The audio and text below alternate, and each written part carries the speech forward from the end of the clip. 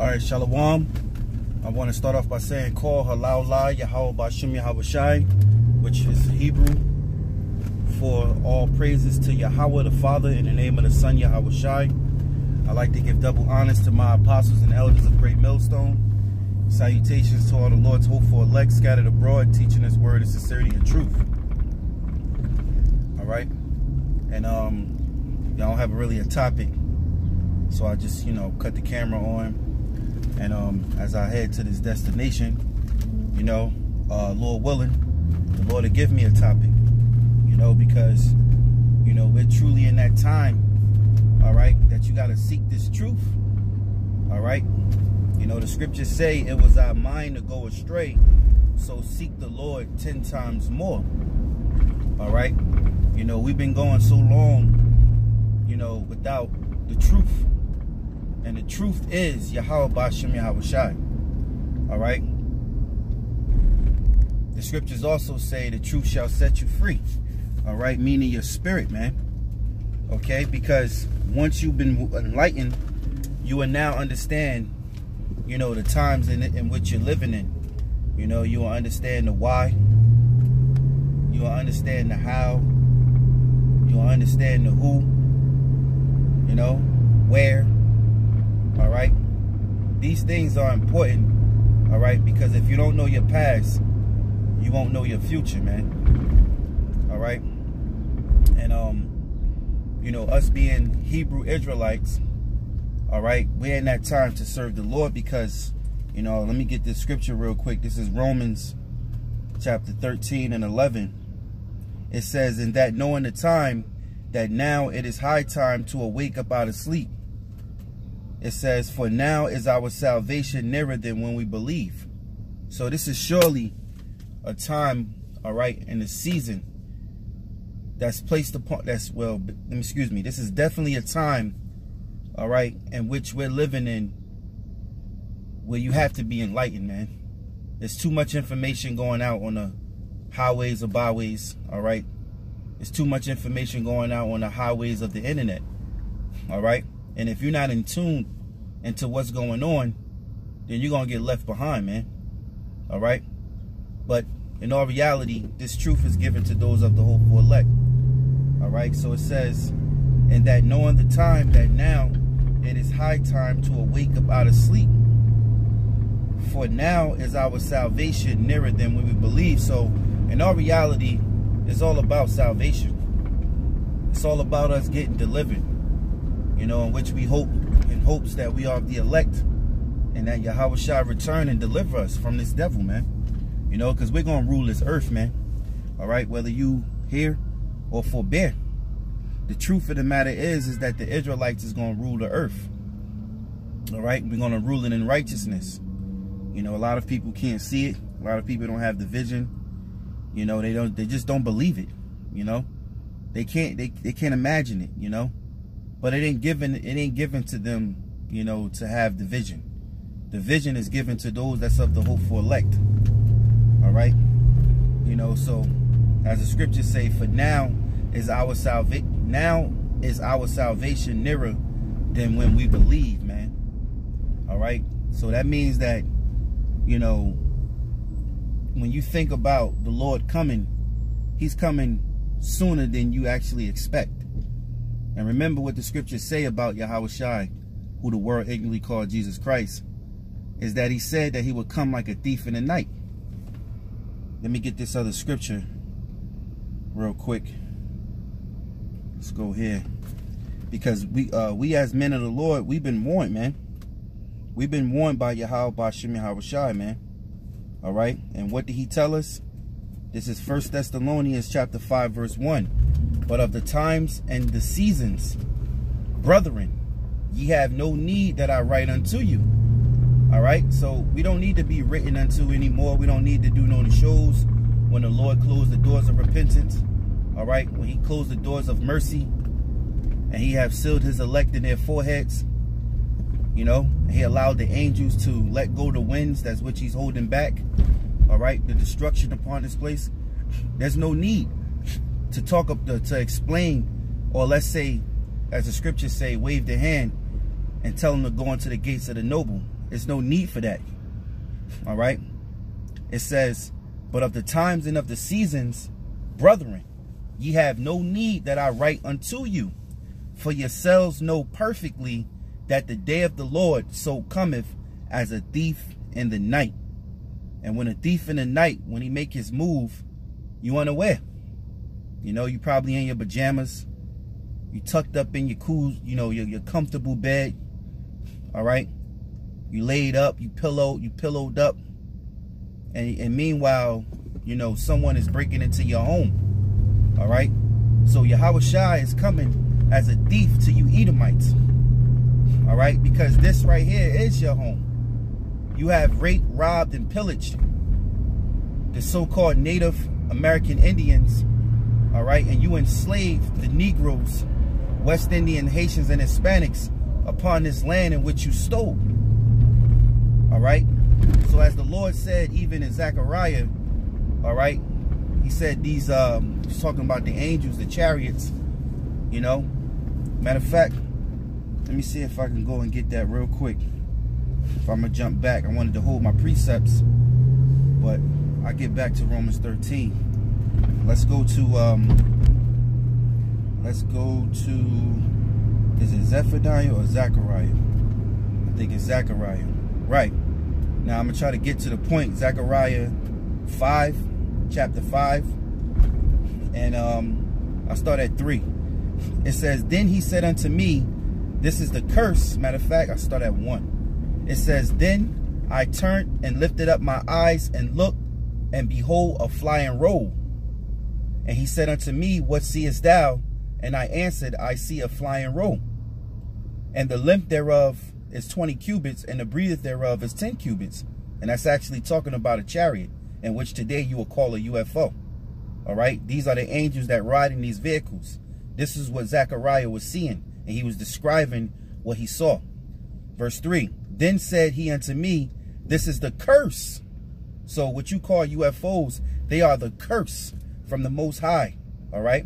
It says, this is the curse that goeth forth over the face of the whole earth. Okay? And where you see the UFOs flying at, and what you call UFOs all over the world. All right? It says, This is the curse that goeth forth over the face of the whole earth, and everyone that stilleth shall be cut off on this side according to it, and everyone that sweareth shall be cut off on that side according to it. I will bring it forth, saith the Lord of hosts, and it shall enter into the house of the thief. you know? So this is my point. These angels are coming into this house. The Lord is going to come like a thief in the night into your house, Esau. It says, I will bring it forth, saith the Lord Yahweh of hosts, and it shall enter into the house of the of the thief, and into the house of him that swear falsely by my name. All right? Who say they are Jews and are not, but do lie. They are the synagogues of Satan. All right. Who you? Uh, another scripture uh, says, uh, "Who you thought was all together as one, but the Lord shall reprove you right to your face." All right, because you thought the Lord Most High was with you. All right, you thought the Most High was with you in this kingdom, but you failed to realize that the Lord sent out the men of the Lord to reprove you. All right, who was made contrary, who was who was made to confound you, man all right, contrary of your doings, made to reprove your thoughts, all right? It says, I will bring it forth, saith the Lord of hosts, and it shall enter into the house of the thief, and into the house of him that swear falsely by my name, and it shall remain in the midst of his house, and shall consume it with the timber thereof, and the stones thereof. All right? So let me get my precept, let me get my scripture back. Going back to Romans 13 and 11. So now let's go back to this First Thessalonians. It says, For yourselves know perfectly, First Thessalonians 5 and 2, For yourselves know perfectly that the day of the Lord so cometh as a thief in the night. For when they shall say peace and safety, then sudden destruction cometh upon them as travailed upon a woman with child, and they shall not escape. All right, so no one is going to escape this judgment, man from Yahweh Bashim Yahawashi. You know, the bigger picture is salvation, man. You know, at the end of the day, no matter what's going on, it's about salvation to the elect, you know, and destruction upon the wicked.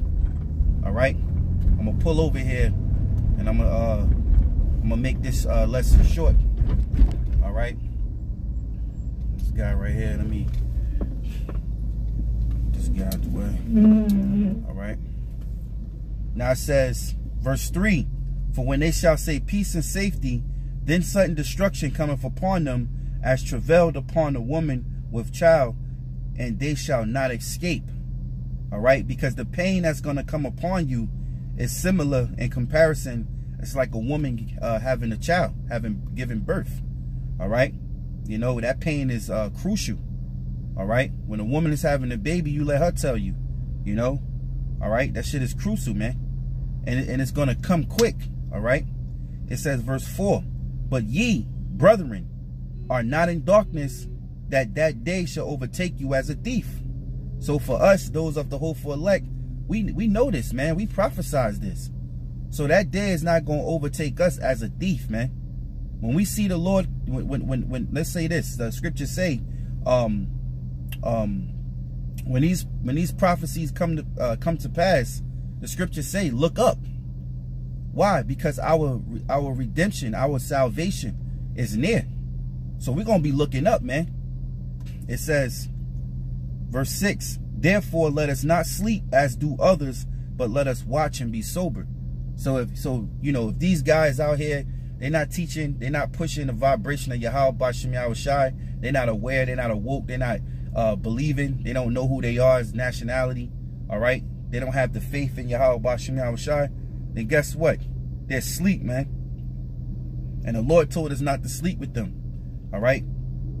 When it says, therefore, let us not sleep as do others, but let us watch and be sober. For they that sleep, sleep in the night, and they that be drunken are drunken in the night.